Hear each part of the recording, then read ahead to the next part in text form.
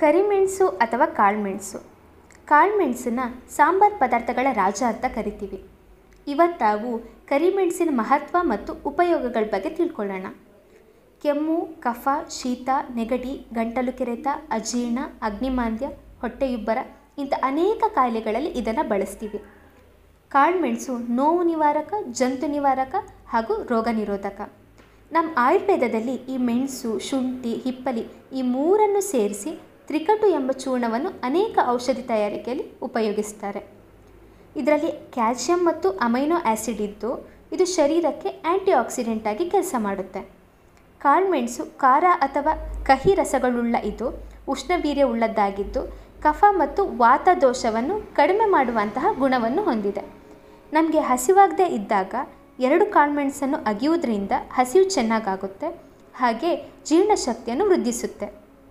ಅದೇ ರೀತಿ ಗ್ಯಾಸ್ಟ್ರಿಕ್ ಸಮಸ್ಯೆ ಇರುವರು ಮಜ್ಜಿಗೆ ಜೊತೆಗೆ ಅರ್ಧ ಚಮಚ ಕಾಳುಮೆಣಸಿನ ಪುಡಿ ಉಪಯೋಗಿಸುವುದರಿಂದ ಗ್ಯಾಸ್ಟ್ರಿಕ್ ಸಮಸ್ಯೆಯನ್ನು ಕಡಿಮೆ ಮಾಡ್ಬೋದು. ಈ ರೀತಿ ನಿರಂತರವಾಗಿ ಕಾಳುಮೆಣಸನ್ನು ನಾವು ಸೇವಿಸುವ ಆಹಾರ ಪದಾರ್ಥಗಳಲ್ಲಿ ಸರಿಯಾದ ಪ್ರಮಾಣದಲ್ಲಿ ಬಳಸ್ತಿದ್ರೆ ಚರ್ಮಕ್ಕೆ ಸಂಬಂಧಪಟ್ಟಂತಹ ಕಾಯಿಲೆ ಹಾಗೂ ಹೊಟ್ಟೆ ಸಮಸ್ಯೆಗಳನ್ನು ಸೇರಿದಂತೆ ಅನೇಕ ರೀತಿಯ ತೊಂದರೆಗಳಿಂದ ಪರಿಹಾರ ಕಾಣಬಹುದಾಗಿದೆ.